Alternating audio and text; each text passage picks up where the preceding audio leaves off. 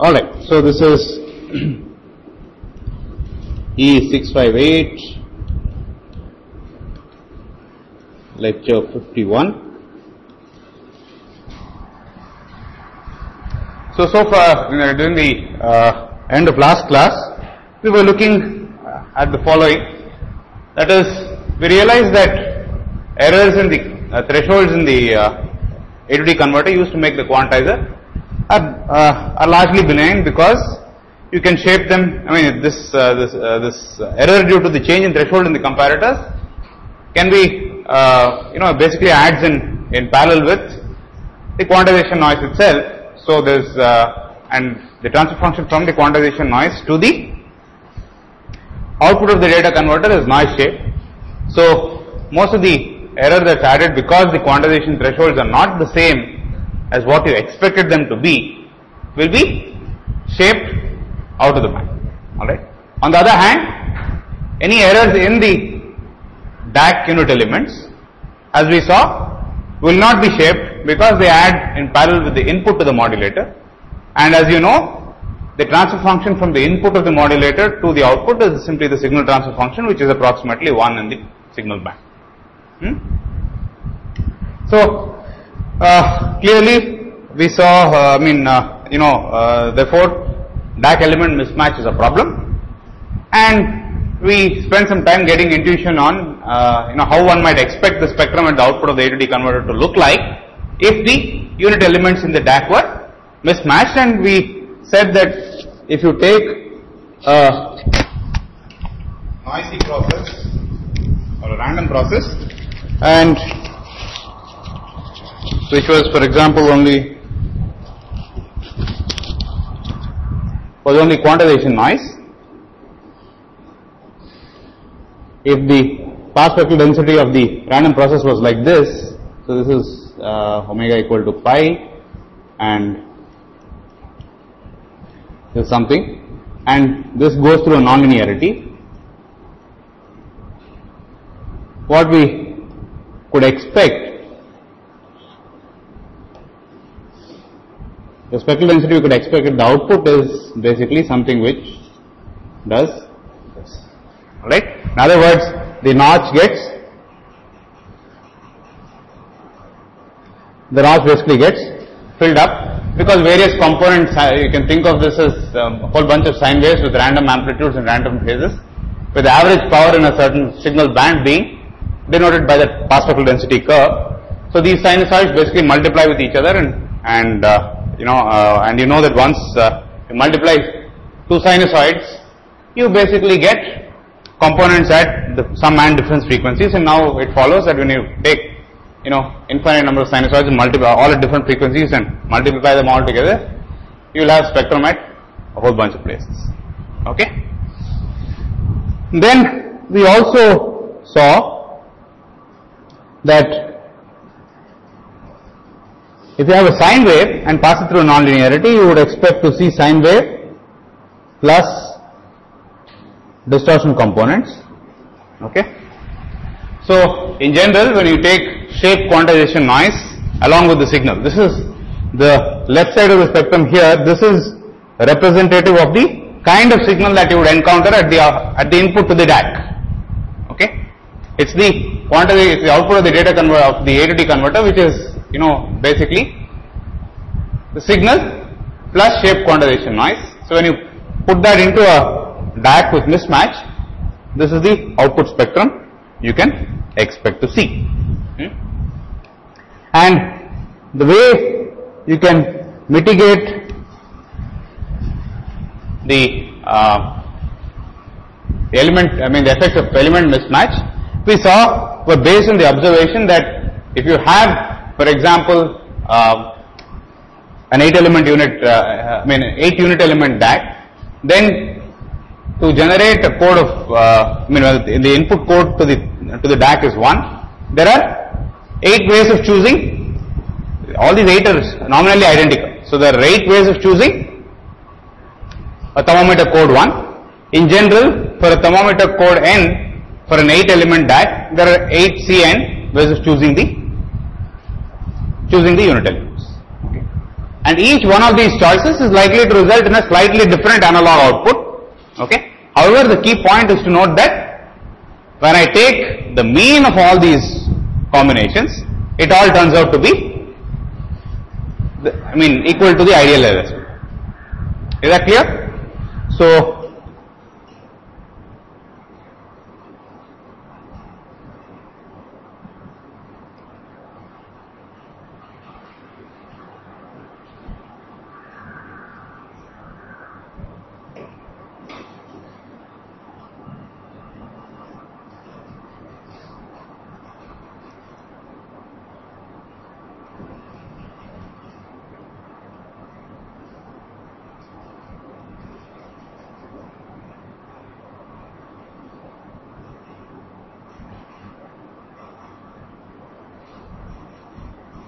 Yeah. So this, for example, shows uh, the output of an 8 element DAC. For each input code V, which is shown on the x-axis, depending on which of the current sources you choose, you can have many outputs because the current source, uh, uh, you know, the, there is mismatch in the current sources. So all the current sources are not the same. And you can see as we expected, the number of combinations possible is the largest when V is 4, when the stuff is in the middle, right? And for each of those combinations, I have gone and plotted the analog output, and you can see that, I mean, here visually you can see that the average of the all the possibilities seem to lie on the straight line. You can actually prove it, it's not very difficult at all. Hmm? So, a lot of uh, techniques try to mitigate the effect of offset by making the observation that the average of all the possibilities is the ideal LSB that you want. Okay. Uh, historically, the first way of uh, fixing the problem was what is called randomization. Right. So, for every thermometer code, there is a random switch box between the elements of the DAC and the switches. So, in other words, in a particular clock cycle, Okay, the first and second sources, I mean you might choose the first and second current sources to represent a code of 2. But in the very next cycle, okay, because of random shuffling, what happens is some other two current sources take the place of these two, which were there in the first and second place. So if you, if the input to the DAC was a constant of say 2, alright, the first time it is 2, that you pick some two random sources, alright, the next time there are two, you pick some other random sources. Is this clear? Alright? And so on. So in other words, if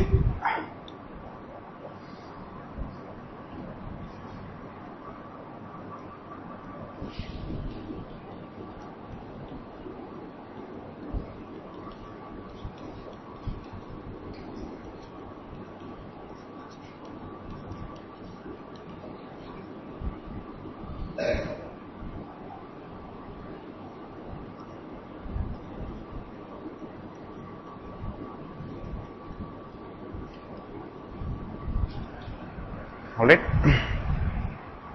So, if uh,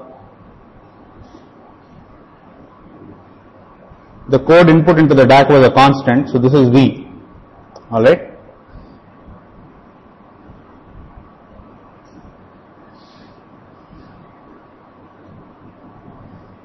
Alright, and uh,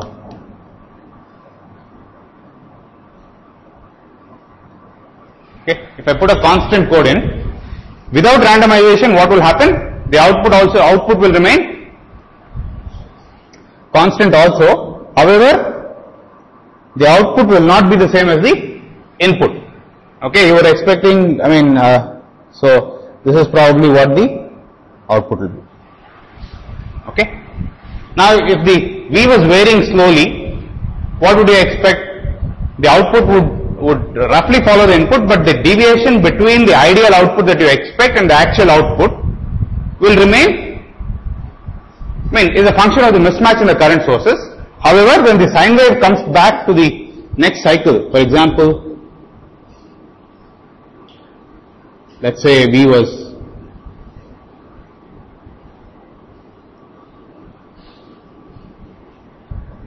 let's say V was an input sinusoid, then what happens? The output sequence would probably do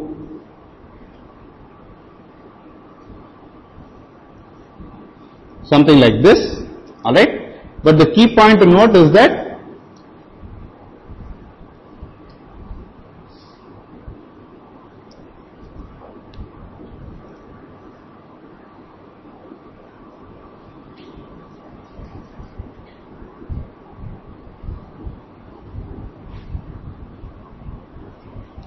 Alright?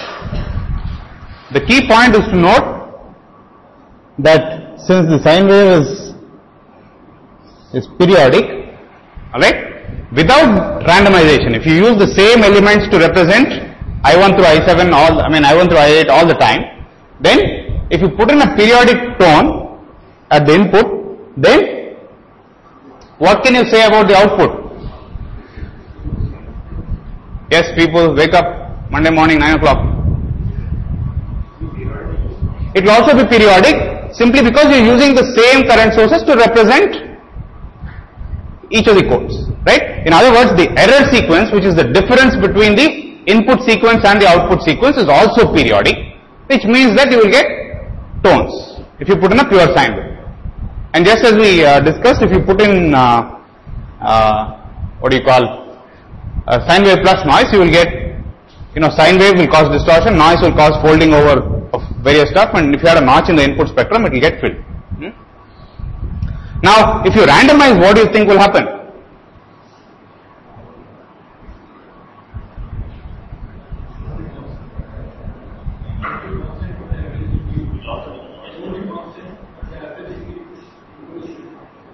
Uh, come again?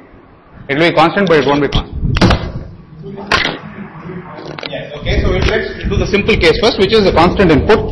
And when you have a constant input, what can you expect? So this is without randomization. Right. With randomization, what do you think will happen? This was the input. All right. What will happen to the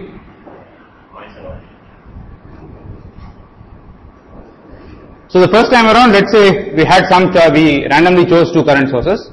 The next time around, it will be something else. We chose some, some other two ra- current sources randomly as representing I1 and I2. So the error will clearly not be the same. Okay. The third time around, it will be something else. The fourth time around will be something else, blah blah.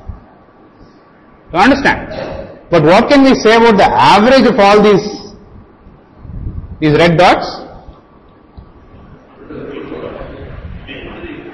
They should be the same as? I mean, if you, if you wait for long enough and take a long average, what happens? We know that some, I mean, uh, at some point in time the error is uh, some E1, some, I mean E1 plus E2, second time it is E3 plus something else, the random current source that you've chosen, and so on. So, if you wait for long enough, you will basically get average out all the errors because all the combinations are covered. You understand? If you have to choose two current sources, for example, alright, out of 8, there are how many possible ways? 8C2, which is 8 into 7 by 2, which is about 28 ways. Okay? So, you know, if you kind of make an average of, uh, you know, let's say compute the average of the output uh, over say 100 cycles, clearly these 28 cycles and I mean if the random number generator is, is, is truly random, then on the average each one of these choices will be chosen with a probability of 1 by 28, right? So, uh, so if you wait for, you know, say about uh, 100 clock cycles, each one of these will probably be chosen for around 4 times, right? Uh, and the average of, these, of all these sequences will be what we expected the ideal LSB to be. Does make sense? Okay? Yes, sir.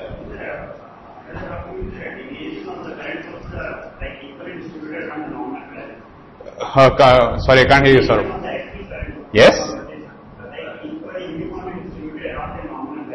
Uh, they're all distributed along the nominal value, around the nominal value, correct.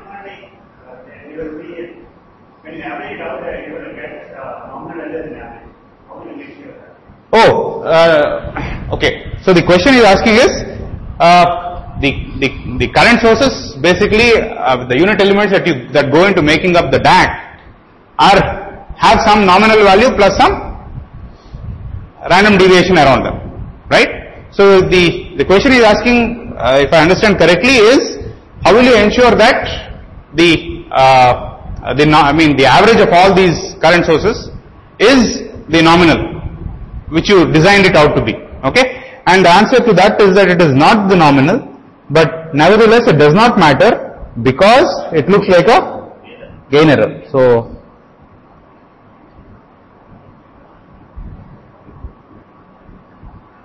so if you look at this uh, this diagram here on the top, the individual current sources are all screwed up. Okay, uh, there could be two types of screw up. One, of course, is that the nominal value of the current source is slightly different from the nominal value that you intended the current source to be.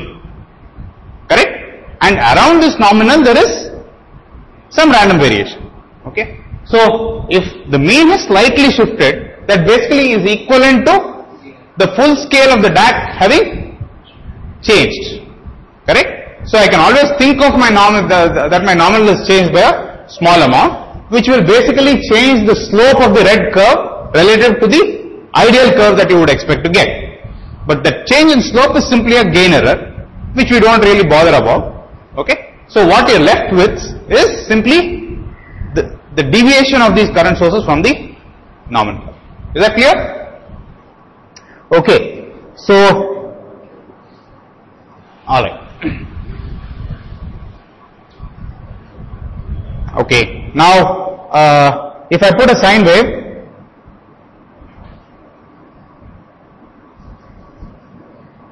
what do you think will happen when I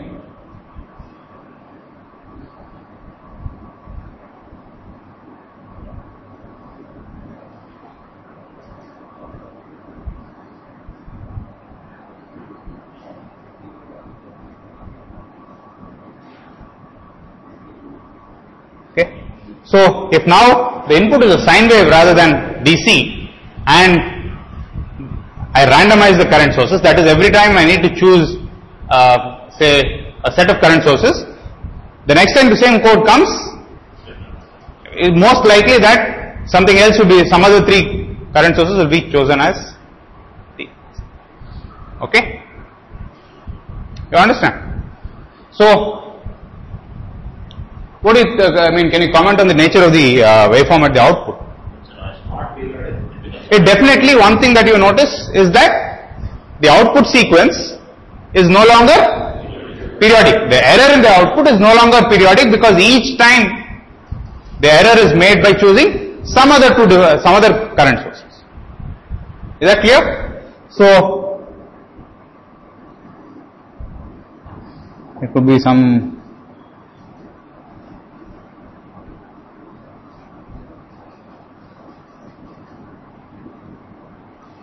Okay. So the periodicity is broken.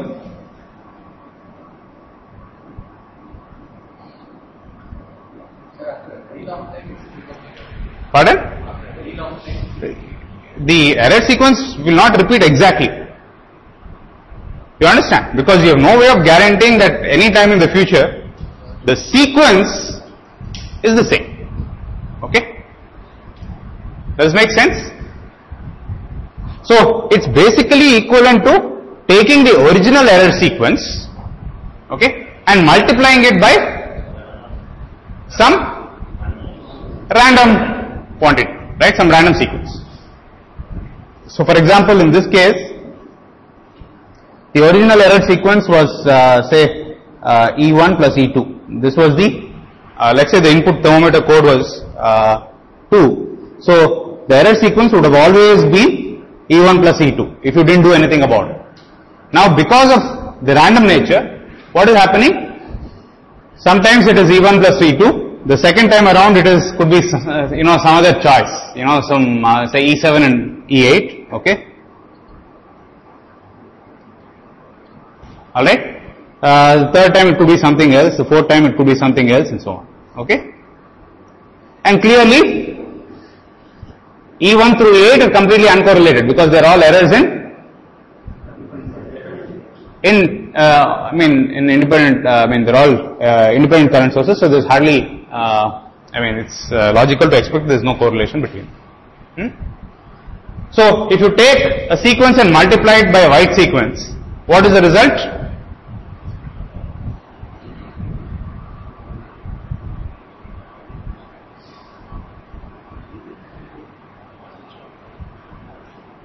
if you take a random sequence say x of n and multiply it, uh, I mean, if you take a sequence and multiply it by y of n, if x and y are uncorrelated and y is white, what is the uh, autocorrelation function of the uh, uh, of the output? z of n is x of n times y of n. Okay, x of n is a random sequence. Okay, uh, y of n is also a random sequence. However, y of n is white. In other words, RZZ of n is nothing but if x and y are independent, RXX of n times RYY of n. I mean, I hope you know what RYY and what is R? Autocorrelation. Okay? For a white sequence, what is autocorrelation? Delta of n, right? So, what should be the autocorrelation function of RZZ of n? It's a scaled version of delta of n. Correct? Okay? Which basically means the output sequence is also white. Alright? Does make sense? And the mean square value of Rxx of n, I'm sorry, of Rzz of n must be the same as the mean square value of R, uh, let me see, correct. The mean square value of R ZZ of n is the same as the mean square value of Rxx of n. Okay. In other words, if you take some se- uh, sequence and multiply it by a white sequence with unit variance, all that happens is that it's equivalent to basically taking this point, putting it somewhere else, taking some other point, putting it here and so on. So all that is happening is that the mean square value is not changing. Okay? Alright? It's just making the spectrum look white. Okay? So, in other words, if simply, uh, so without randomization,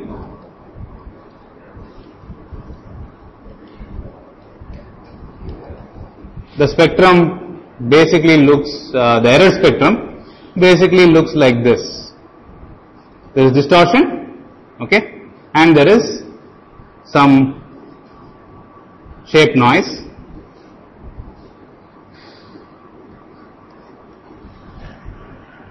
Alright? Now because of because of uh, what do you call randomization, what do you think will happen?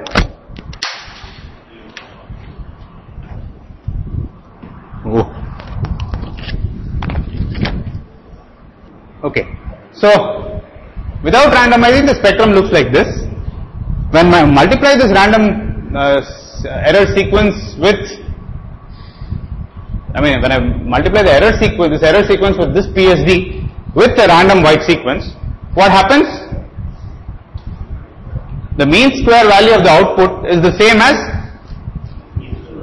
mean square value of this sequence. In other words, the energy the, uh, under the uh, PSD remains the same. It's just that it looks white. Okay, so this whole area is just spread, into a into an equivalent white thing like this.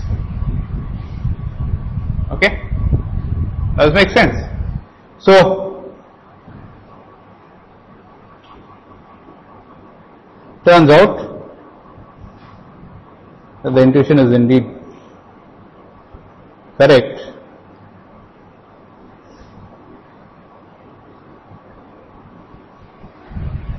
All right. So the blue spectrum here is the ideal spectrum. Okay, and you can see clearly that it's all Hann windowed. Uh, so you can see the leakage into two neighboring bins. The green curve represents what you would get with uh, some error in the uh, unit elements of the DAC. Okay, and as you can see, with DAC mismatch, the performance is just terrible, right? Ideally, you were supposed to get the noise floor is like uh, somewhere around between 100 and uh, if you look at between 0 and FB, the average gain seems to be somewhere for the blue curve is around maybe in minus 90 dB or so. Whereas for the green curve, it's only it's about minus 70 dB or something like that. So you can see that you have lost about 25 dB from the ideal. Okay, so if you're trying to hit 16 bits, you're probably getting only 11 or 12 bits. So that's definitely a problem. And not only that, there is distortion in the sense that you can see third harmonic. Hmm? Now, the moment you randomize it, what has happened? All the distortion has become it's become noise. In other words, the the tones have been spread out. You can think of. Okay, you can think of it as you take a hammer and whack the tones down, right? When you whack the tones down, the stuff up, you know, comes up. You understand? All right. So you can see that distortion has gone away, but you see noise floor goes up. Okay. In a lot of situations, uh, you know, distortion is problematic, but noise floor is not. Okay. So in which case, you know, randomization is a reasonable strategy to use. Okay.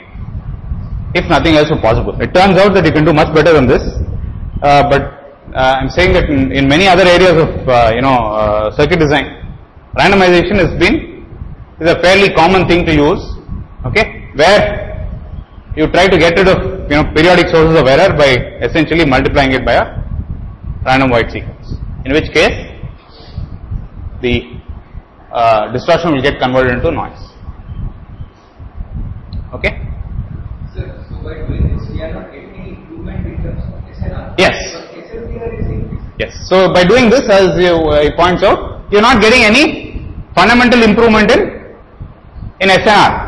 Okay? Because the distortion is getting converted into into uh, I mean uh, noise. However, you can see that if you plot the signal to distortion ratio, you're doing definitely better because that spike which was above the the green spike, the third harmonic of the uh, green curve, lies above the the noise floor of the uh, due to the red curve, which is the one due to randomization. You understand? So this is the randomization is just uh, uh, converting the tones into noise floor. Does that make sense? All right. So the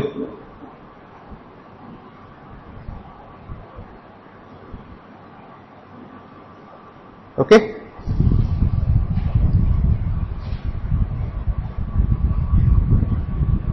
You understand? So several other approaches to uh, mitigating the problem became uh, what do you call uh, came after people figured out randomization. Uh, but in any case, basically, let's figure out what the hardware problems are with you know uh, such techniques. As I said uh, in the last class, all such techniques come under the class of what are called dynamic element matching algorithms, where there is the static matching is quite poor, but on the average, okay, thanks to uh, uh, clever algorithms, it can seem as if the DAC is very very linear because of some of these techniques. Well, one we saw was uh, was simply randomization, and you need some logic before the D to A converter, all right, to basically you know uh, figure out which of these current sources are, go- are going to be connected to which bit. I mean the input from the A to D is a thermometer code, all right. The thermometer code is supposed to go to the DAC, all right, and the given the thermometer code, going into the DAC will select some current sources. So if you want to randomize the current sources, what will you do? You have a thermometer code coming in and the thermometer code going out, all right, and all that you need to do is put some random, I mean, you know, some uh, some connections between the input thermometer code and the output thermometer code, where the connections are all randomized. Okay, so uh, you need some kind of logic to do that. And uh, so, what do you think the problem is? Every time you have logic, it will introduce some delay. It takes time to do ANDing, ORing and all this other stuff. Okay? And uh, at low, I mean when the uh, loop is operating at low frequencies, uh, you know, or at low clock rates, this delay is not an issue. But in very, very high speed systems where uh, the sampling rate of the modulator is very high, then what happens if there is delay in the loop?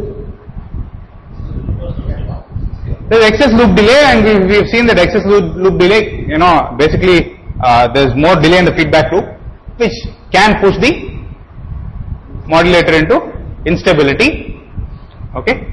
And uh, so you have to go and fix the loop filter by perhaps adding a direct path around the quantizer, alright, and also changing the coefficients of the loop filter to make sure that the noise transfer function is what you want in spite of this excess loop. That make sense? Okay, so let's see if we can do any better.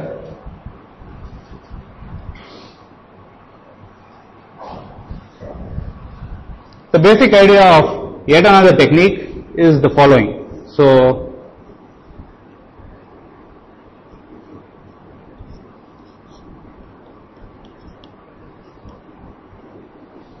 okay, the D2A converter sequence is uh, input sequence is V.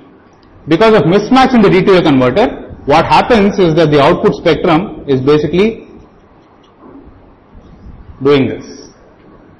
Correct? That's what we saw. Hmm? So, if uh, if you have a black box, okay, I mean, are we really concerned about this guy? No. We don't. We are only concerned about this frequency band. Correct? If everything is fine in the signal band, you don't really care what happens outside because anyway it's going to get filtered out by the decimator. Correct? So, since this is the problem, you know, we can use a technique which uh, has long been used in, uh, in you know, a whole bunch of audio systems before, and uh, this is what is called uh, pre-emphasis. I don't know if you've heard of this. Have you all heard of Dolby noise reduction? Have you heard of Dolby? I mean, you must have seen this in the movie theaters, right? It says Dolby surround, Dolby, Dolby, Dolby. Who is this? What is this? Uh, how did this Dolby all come about? Okay, Dolby Labs is like now, of course, very famous for uh, high-end audio research. But the first technique they came up with was what was called Dolby noise reduction.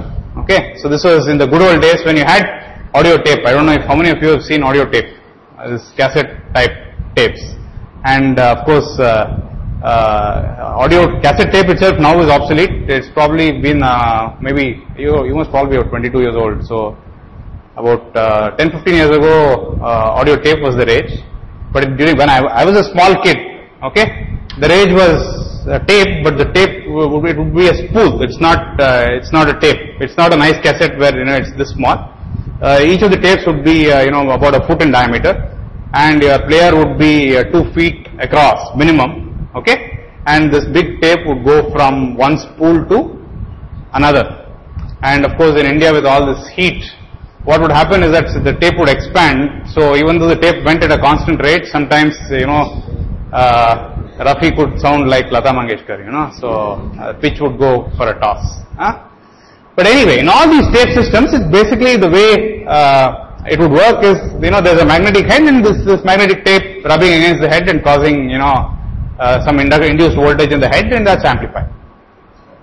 Because of this friction apparently, what happens is that there's what is called hiss. Okay, so I don't know if uh, now with CD systems you don't hear any hiss at all. Okay, but in the old cassette type stuff, bit, once a song is over and another song is yet to come, right? There's empty, supposedly uh, no volume. I mean, no sound at all supposed to come out, but you will distinctly hear. Okay, so this hiss is uh, uh, occurs at, at high frequencies. Okay, and uh, uh, you know it's unless you have a loud song playing, it's quite annoying. Hmm? So what these guys said was the following. So you know that if you take uh, a tape, I mean sound as it is and record it onto a tape, when you play back, the noise is, uh, you know, the spectral density is like this and then kind of does some, something like this. So at high, this hiss has got predominant high frequency components, Okay, because of the physical mechanism by which it's introduced. We don't worry about why it's got high frequency components. It just turns out that there is a lot of high frequency components. Okay.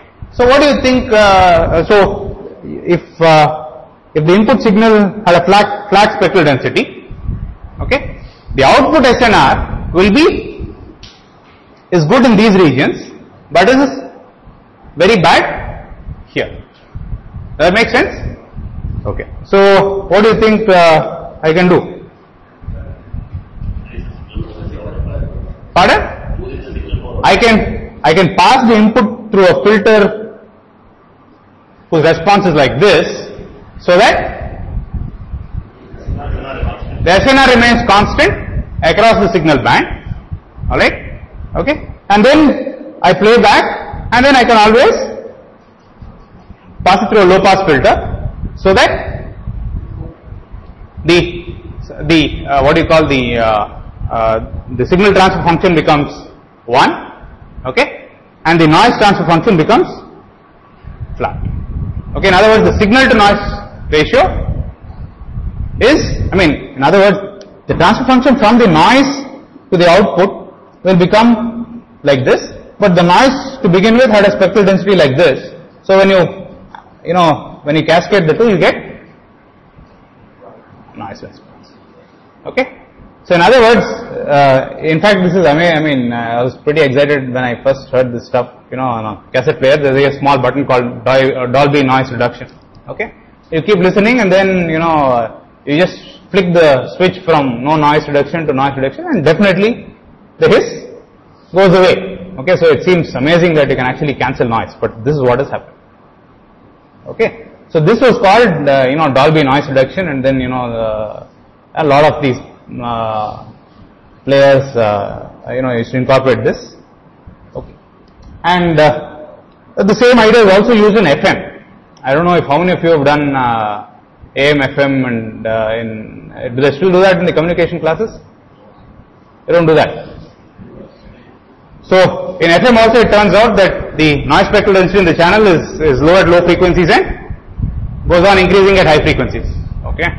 Uh, I think this has got to do with see to to convert from uh, from frequency to voltage.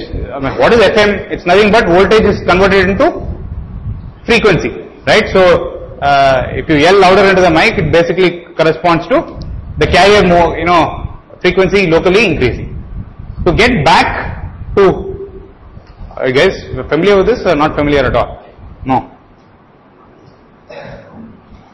So, FM is basically message is integrated, okay, and then connected to a VCO.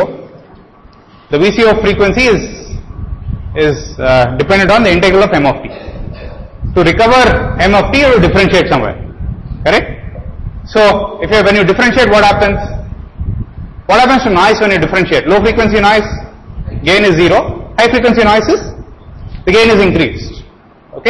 So what they do is instead of uh, you know pumping the message, they they pre-emphasize the message. In other words, they pass the message through a filter whose whose frequency response is like that, so that the signal to noise ratio remains you know, roughly constant across the.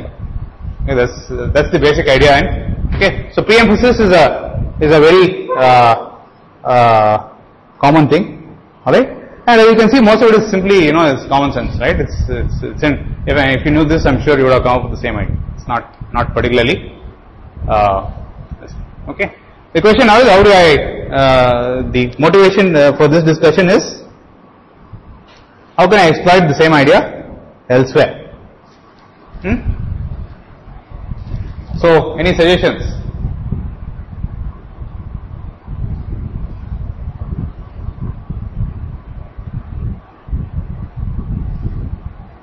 See, ideally you are supposed to get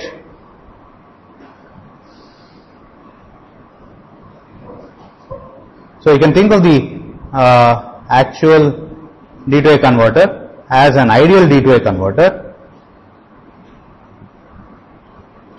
plus some noise, okay, and the ideal part has got the noise spectrum that you want, the noise part has got the junk that you don't want.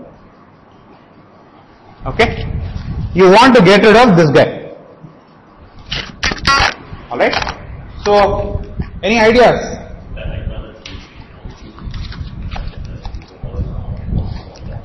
In other words, you, maybe you're interested in getting rid of the, you don't really care about getting rid of the error across all bands. You only want the error to go away in at low frequencies. Does that make sense? Okay? So in other words, what would you want to do?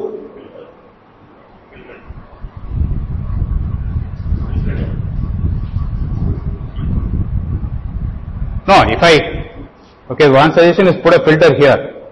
I mean, see this whole thing comes as a unit. If I go and eliminate low frequencies from the output of this, then I will eliminate the signal also. So I have the signal and the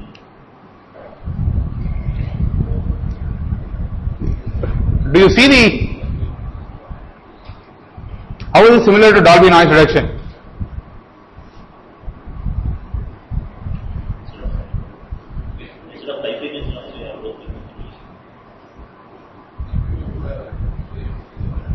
Rakshit,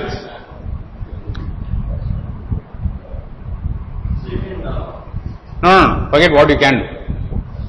How is this, uh, I mean, do you see the similarity between this problem and the, the uh, problem in audio tapes? so the noise here is at low frequency, Yes, so what should you do? If you want to eliminate or reduce the noise, what would you do? you should pass it to a high pass. Yeah, I mean, in principle, what do you want to do? You, you want to remove this low frequency. Yes, okay. And how are we doing that with the, in the Dolby example? Yeah, we emphasize the signal. You pre-emphasize the signal in the frequency band where there is more noise, okay? Alright? And then you take the output and de-emphasize the, the, the same band, okay? So if you pre-emphasize low frequencies before you go into the D to A converter, alright? Okay? Then at low, I mean, ideally you would, uh, let's say the input signal sequence had some flat spe- spectrum, okay, and uh, and there's shape quantization noise. So what I will do is pre-emphasize this at low frequency, so I can do, let's say, something like this. So pre-emphasis at low frequencies is simply I take this and do this, correct? And what happens? And to and now I'm adding noise not to the original sequence but to the pre-emphasized sequence. So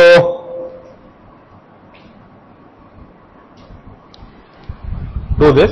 So you can clearly see that the signal to noise ratio in the signal band is greatly improved. Does it make sense? And then I go ahead and filter it by the inverse transfer function. So bringing the the signal back to what I want, right? And in the process, what has happened? The noises has reduced greatly.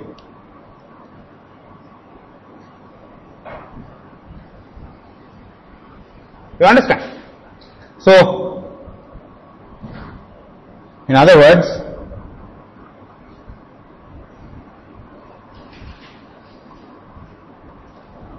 take the input sequence V, pass it through a filter whose gain is very high at low frequencies and low at high frequencies. Okay. Then pass this through the D2A, give this as the input sequence to the DAC. Correct? Then what should I do? H1 inverse of Z. Alright?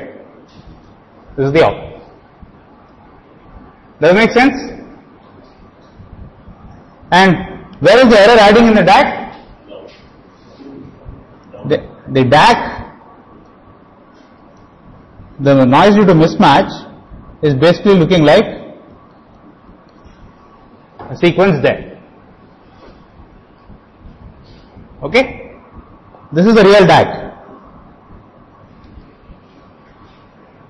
Okay? and E is unknown. So, what is uh, V out is nothing but V plus E of Z times H1 inverse of Z. Does it make sense? Okay. You can see that the idea is very very similar to what is well known in the past.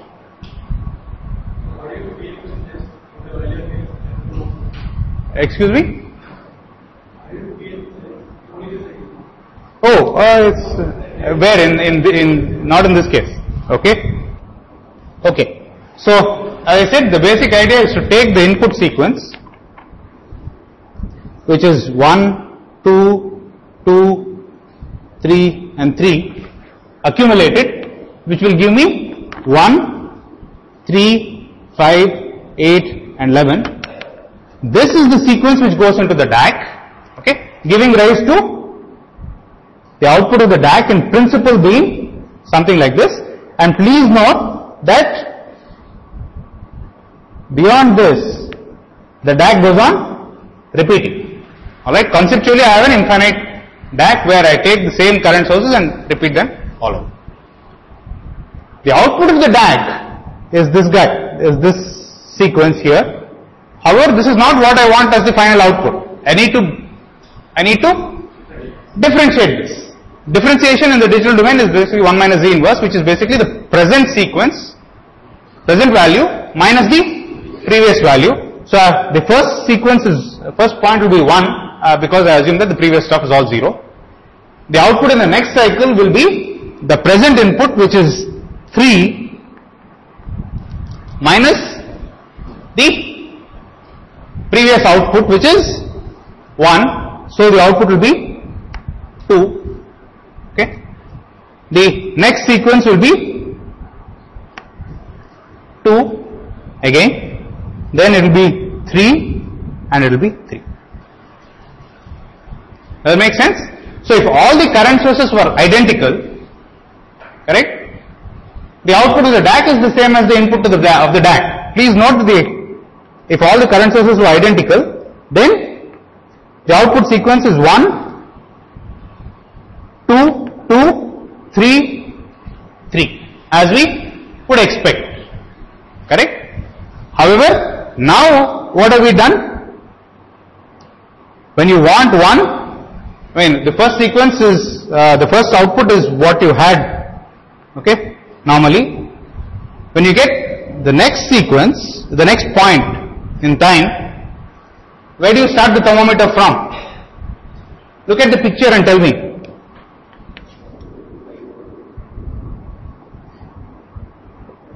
At n equal to 0, you start the thermometer from there, right?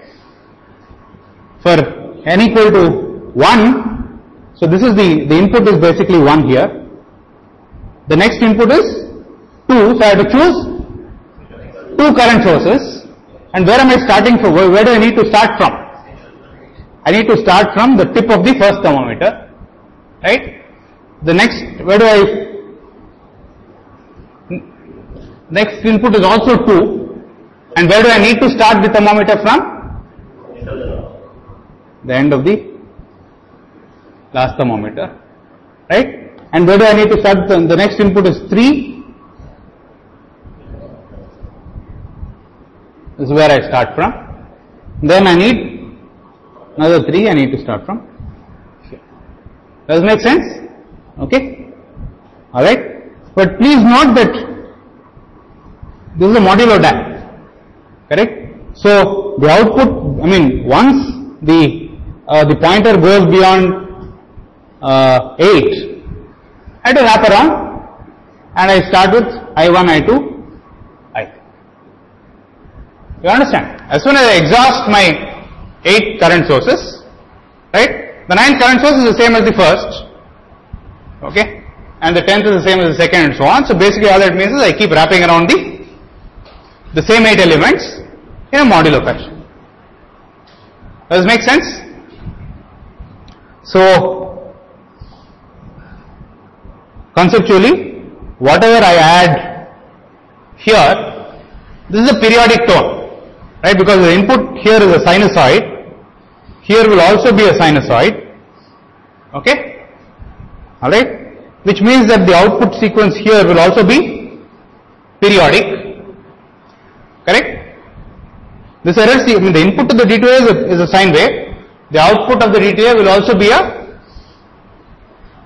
will be a sine wave plus some error and because there is nothing here, we are not doing any randomization, nothing. Okay? We simply are pushing up the, uh, I mean, uh, so the error sequence will repeat after so many inputs into the, I mean, after one full cycle, the error sequence will repeat again. Correct? And so that is the sequence that you are, the error sequence that you are adding here.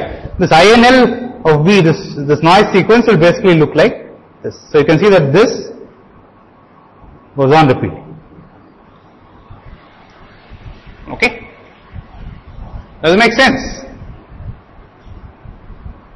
Now I pass this sequence plus the ideal output through a differentiator, right? So the transfer function from here to here will be 1. Okay? The transfer function from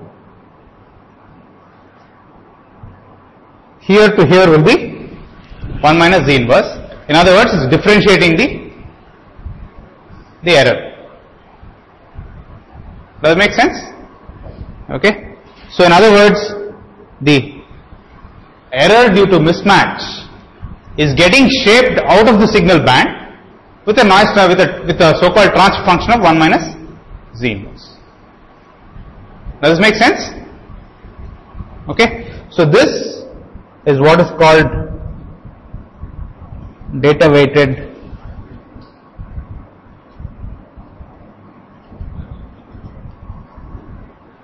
okay?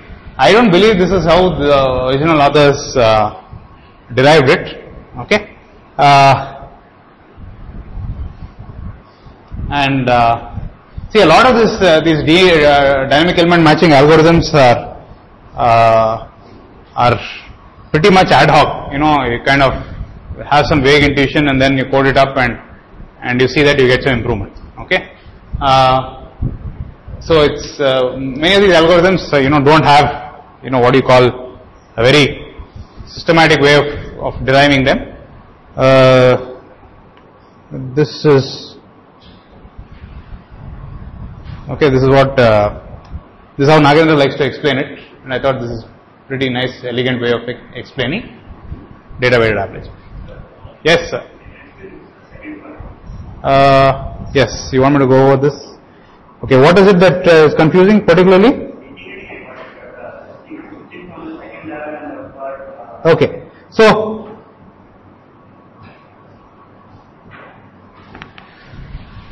all right so let's go over this slowly again. This is the input sequence. 1 2 2 3 3 i chosen some random input sequence. Okay? All of you understand why this makes sense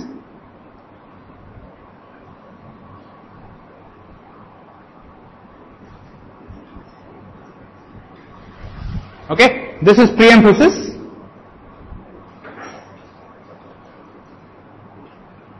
And this is de-emphasis. Okay? And why we need the infinite d to a is because pardon? Yeah so the uh, the impulse response of uh, of an ideal integrator the norm of that response is infinity which basically means that even for bounded inputs you can get unbounded outputs. Hmm? so to prevent you know any uh, saturation and stuff like that what we've conceptually said is let us have an infinite level D2A converter. In other words there is uh, there are I mean there are infinite levels. We know that it's not practical. So we'll choose as since it's it's uh, it's an uh, it's an ideal thing in the first place we can make it as ideal as we want I mean have whatever characteristics we want and what we say is that you copy and paste the same levels again. Right? So the current sources of the, the levels of these infinite level D2A converter are I1 through I8. Instead of having I9, I10 and so on, I will replace it by I1 through I8, I1, I2 again through I8 and so on.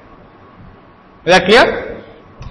So the INL of this infinite level DAC is something like this. It is simply a periodic extension of the INL versus code for a single DAC. Is that clear? Hmm? Now, let's figure out how this operates.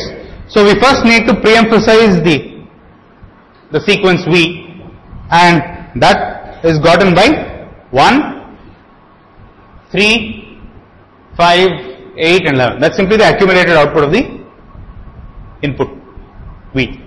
Okay. So this is the quantizer output. That is, you know, the uh, stuff that is would have gone into an idea into a DAC without any of these algorithms, right?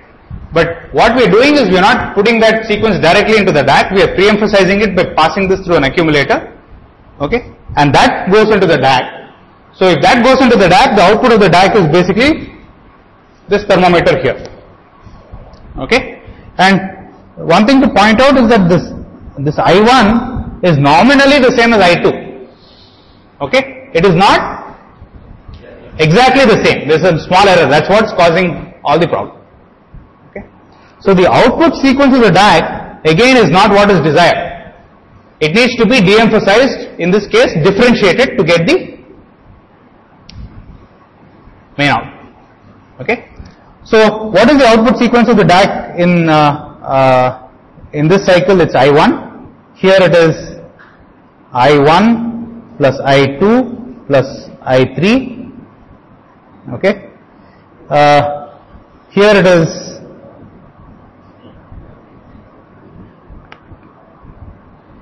I1 plus I2 plus I3 plus I4 plus I5 and so on.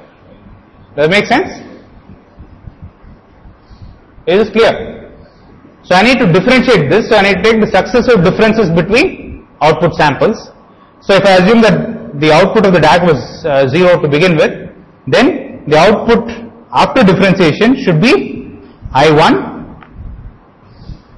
okay? Here should be I1 plus I2 plus I3 minus I1. That should be, that's nothing but I2 plus I3. Is that clear? Hariharan, something is not clear. You seem very agitated. Okay. See, this is V. Alright? This is V by 1 minus Z inverse. This is the integrated version of the output. Correct? This has to be within course digit, I mean uh, discrete differentiation which is nothing but first difference. Okay? The first difference is basically the output sequence was was I1, I1 plus I2 plus I3, okay, and I1 plus I2 plus I3 plus I4 plus I5, okay. So the first difference is basically, if it was 0 to begin with, the, uh, the first difference will be I1, the next cycle it will be I1 plus I2 plus I3, which is the present sample minus the previous sample, which is I1. So the difference will be I2 plus I3. Okay. The next thing is this minus this, which is I4 plus I5. Alright. And then it must be I, uh, let me see, I6 plus I7 plus I8. Okay. Then it must be I1 plus I2 plus I3.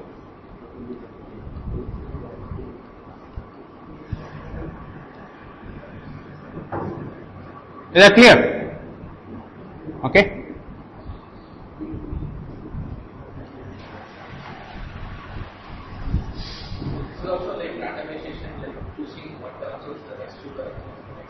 Yes. Uh, okay. So the question is, uh, how is this different from? Okay. Well, I mean, clearly some it's different. But what differences do you see between this and randomization? Pardon? I mean, there's some method in this madness, right? So, uh, I mean, if you do randomization, what do you see? I mean, if I chose uh, I1 and I2 in clock cycle 1, the sec, I mean, and the code was the same. So let's say the thermometer code was 2 all along. In randomization, I will choose I1 and I2 in the, let's say in the first cycle. The next time I get 2, I could choose say I1 and I3 or I2 and I3 or I7 and I8. In other words, more importantly, I can repeat some of the current sources I have used already in the previous cycle because it's simply random. Okay. On the other hand, okay, this algorithm which is called data weighted averaging basically will start, will use successive current sources always. Okay. However, the bottom lower tip of the place from which you start will depend on the previous data. Does this make sense? Okay. So, uh, uh, so for example, if I had a constant input into the D2A converter, all right, how quickly do you think I'll be able to cover the entire bunch of current sources? For data weighted averaging, let's say I had eight current sources and the input sequence was two. So, for in the first cycle, I will choose I1 plus uh, I2, then I3 plus I4, okay, I5 plus I6, and I7 plus I8, and then come back again to I1 plus I2. Whereas if I had randomization,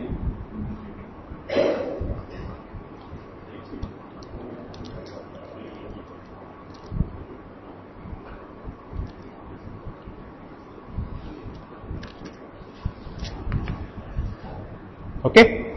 So let's say I have a constant sequence 2 with DWA I will have I1 plus I2, I3 plus I4, I5 plus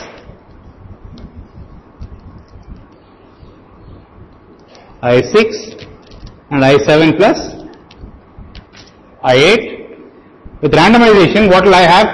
I could have for example I1 plus I3, okay, some other uh, I2 plus I8, blah blah blah. Okay. So, in which of these uh, schemes do you think the the uh, uh, I will cover all the current sequ- I mean all the current sources more rapidly? Pardon? Uh, the DWA algorithm will cause the you know the uh, cause the current sources all the current sources to be used as rapidly as possible. Okay. So what does that mean? Very good. So, if, if use all the current sources as rapidly as possible, okay, the averaging will happen very quickly in a, in the DWA case, whereas it will happen more slowly in the case. Okay?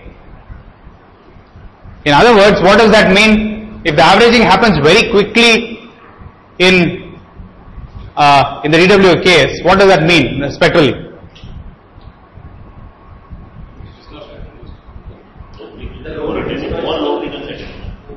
If the averaging happens much quickly, I mean much more quickly in the DWA case, it means that this mismatch, the error due to mismatch, okay, has more attenuation at low frequencies, alright, when compared to randomization. You will have, yes, you will still have harmonics, but they will be greatly attenuated because of this. Okay, and please uh, note, yeah, uh, that is true. Hmm? So it is well known that if you, you, I mean, if you put in a constant input signal, you can see that there will be tones clearly, right? So if I put two as the input, okay, the output will be I1 plus I, you know, I2, blah blah blah blah, and clearly after it has covered the entire all the eight sources, it will repeat again. So there will definitely be harmonics at okay. So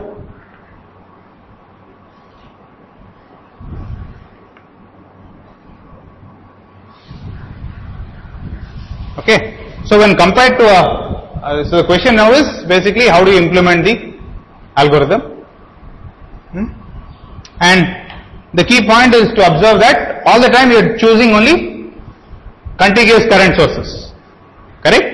And every time you have an input, you need to move the pointer, you are starting at some point in this array and then choosing, I mean how many, I mean uh, let's say the input core was 3.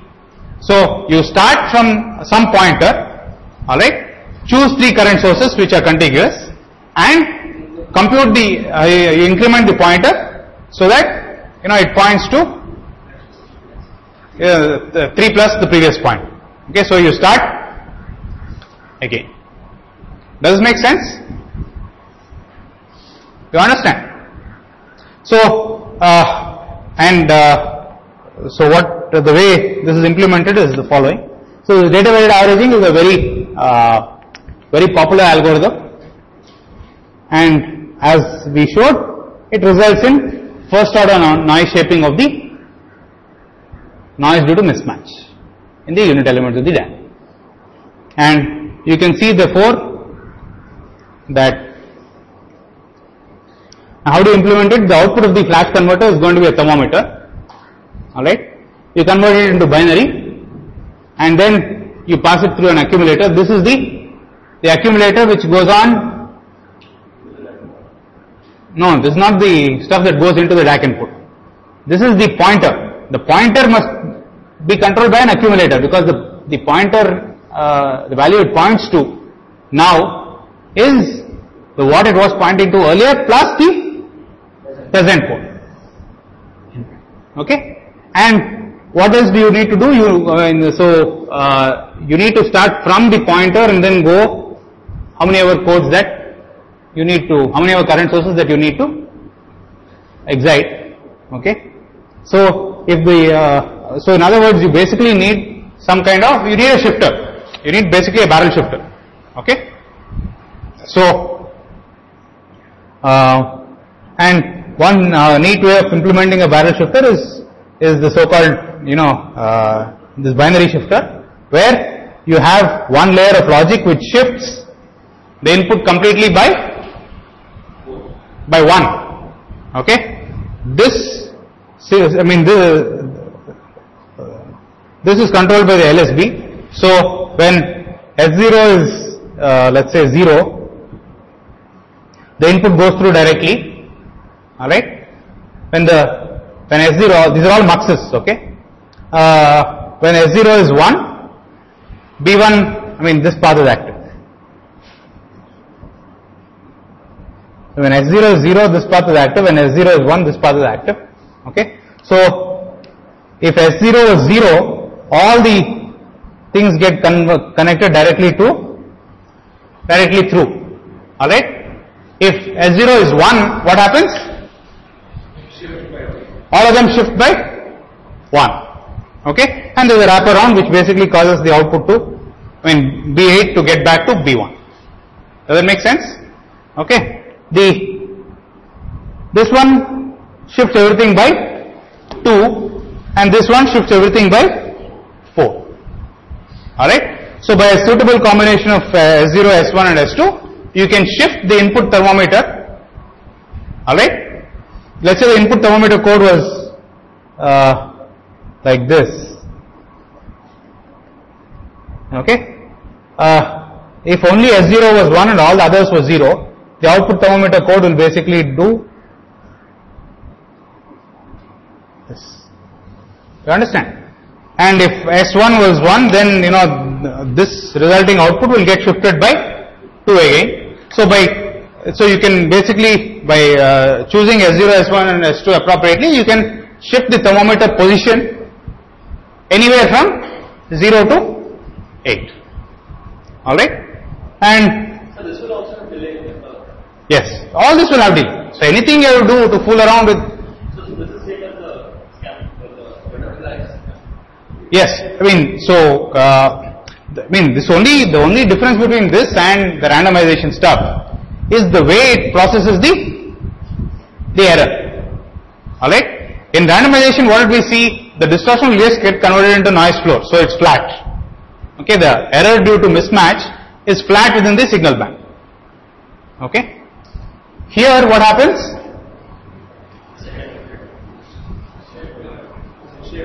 The noise due error due to mismatch is actually shaped by a first order high pass filter, so the spectrum will be will look like this rather than flat. Does that make sense?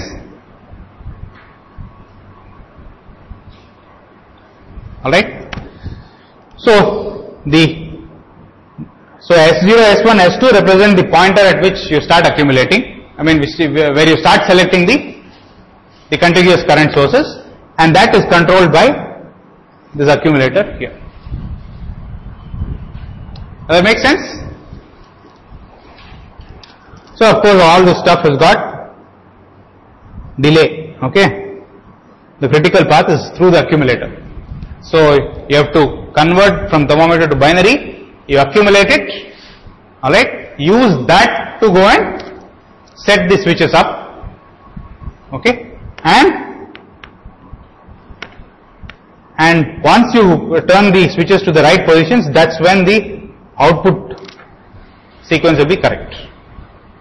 Okay? So all this takes time. So at high frequencies, this is indeed a problem. I mean, I don't have solutions, but this, uh, all I can say is it is a, it is an issue. And this shows the spectrum. This is the ideal this is no DWA. Alright. This is with DWA, data weighted averaging. You can see definitely that there is a tone. I mean, the components are, the error sequence is periodic. So there is a tone Alright? And uh, however, you can see this tone has vanished. Why? Why do you think that's true?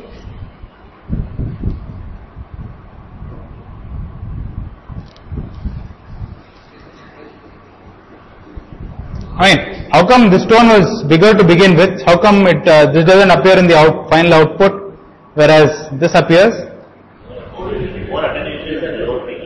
Pardon? Huh? Yeah. No, no, no. Yeah, so please note that this is getting filtered by 1 minus Z inverse, okay, which is the transfer function of the differentiator. Alright? So the, the attenuation of this tone will be much larger than the attenuation of this tone. Does that make sense?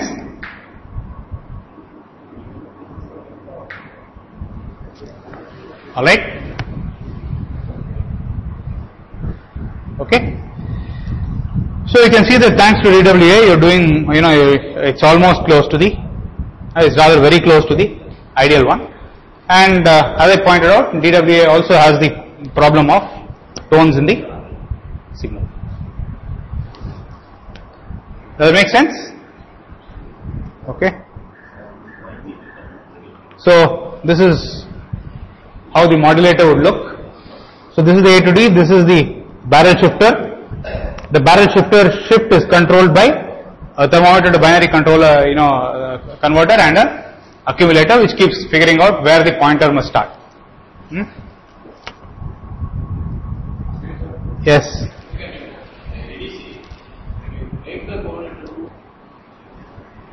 Alright. So when do you think the lowest frequency tones will come?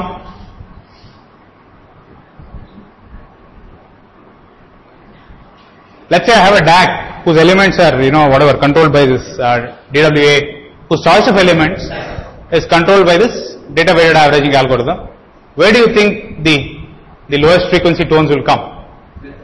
When the input is smallest, correct? So, you, I mean, the, uh, the tones will get averaged out quick, quickest when the when the input is in the middle, not when the input is the largest. Okay? Alright? So when the, when the input is in the middle, you will get, you know, E1 plus E2 plus E3 plus E4 as the error sequence in the first instance. Then E5 plus E6 plus E7 plus E8. Then again, 1 through 4, 4 through 8 and so on. So this looks like a sequence with at pi. Okay? Whereas if the input was just 1, then due to data weighted averaging, what will happen? I will get E1, E2, E3, E4, E5, E6, E7, E8. Again, it will repeat. So this will see tones at Fs by 8. Does it make sense? Okay? When it is eight while When it is 7, not when it is 8. I mean, when it is 8, then it's 8, 8, 8, 8, 8. Yeah, that's okay. Only when it is 7, what happens is you can think of it as 8 minus the top one, 8 minus the top 2 and so on. So, alright? Okay, so I think I'll skip. So there are, as I said, you know, there are a bazillion ways of doing uh, uh, dynamic element matching and uh, most of them are what you call uh, somewhat ad hoc. Okay? Uh, so this was again one of those early algorithms which is called individual level averaging where again you exploit the fact that when you average out all possible choices you get it's zero. The error is zero. Okay, you get the ideal LSB. Hmm? So for each choice, you know, you can, I mean, for each input code, you can keep track of what current sources you've used in the past and use, you know, don't use those current sources that you used in the past. For example, if the input code was 1, okay, so you have a pointer for the code 1, alright. The first time you get 1, you choose I1, okay. Then the input code is 2, you have a pointer. When the input code is 2, you choose I1 and I2. The next time I get 2, what would I do? I want to average as quickly as possible. So what should I do? I don't choose I, I1 and I2, I choose I3 and I4. Okay? Alright? Then for, for code 3 I have another, I have a point, separate pointer. So I choose I1, I2 and I3 when I get 3. Okay? The next time I get 3 I choose I4, I5 and I6. Alright? And similarly, so for every code I need to have a pointer, so you can think of this as some kind of, you know, it's, uh, it's very analogous to DWA, but seems like a whole lot more complicated, right? Because I need to have 8 pointers and 8 accumulators and the whole thing seems like a pretty nasty affair, okay? But nevertheless, uh, this was proposed before data weighted averaging, okay? I think now data weighted averaging is, uh, you know, actually pretty routine technique. So everybody simply uses DWA simply because of ease of implementation and you know, performance you get. So, and uh, you can do you know any number of you know variants of uh, data weighted averaging. One is to do you know it's called. So as you can see, you know every guy who comes up with an algorithm has got uh, a fancy name to it. Okay, uh, you can split up the arrays as two arrays and do DWA on each one of them separately. Okay, and you find some minor improvements. And uh, instead of doing modulo, instead of going all the way up and coming, starting from one again, you can go all the way up and come down. It's big deal, you know. It's all they're all, huh? What do you call? Uh, I think mostly academic exercises. Uh, it's not uh, the uh, merits of one over the other, are you know and you can always find an input sequence which will screw any algorithm, okay? Because all, all that it makes, uh, all that you need to find out is how the algorithm is working and you should be, it is quite straightforward to come up with algorithm, I mean, seek input sequences which can result in tones or, you know, whatever. So, and then there's this, uh, it turns out this is actually a fairly systematic way of doing what is called high order mismatch noise shaping, okay? Where you take the error due to mismatch and you can shape it in data weighted averaging. We saw it was 1 minus z inverse. You can actually make it, you know, 1 minus z inverse to the power n. Okay? And uh, people found that, uh, you know, uh, this is a uh, very, and this is, I think, uh, this is what Schreier came up with, right? But the implementation becomes very, very complicated and uh, beyond 1 minus Z inverse, the complexity of this engine becomes uh, quite a lot. So, uh, you know, a lot of people don't do it. And if you want 1 minus Z inverse, you can do data weighted averaging anyway. All right. So, I'm not going to get into the details of this.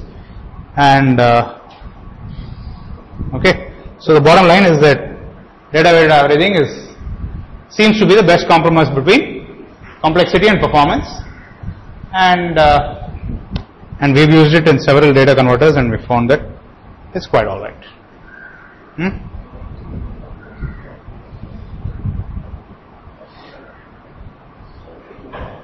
Okay, then uh, I mean, so the other class of algorithms, uh, not algorithms really, circuit techniques, is to say that let's forget about all this uh, dynamic element matching because it introduces delay in the loop. All right. What if somehow I measured each one of these unit elements and made them all equal? Okay. So I have some kind of calibration cycle where I measure each one of these individual current sources. Okay. Compare it with some reference and you know use negative feedback to go and correct the value of these current sources so that all the current sources are equal to some master reference. In which case, you know I don't need. I mean the current sources are very well matched to begin with, so I don't need any of this, this you know averaging and all this other stuff. Okay, so.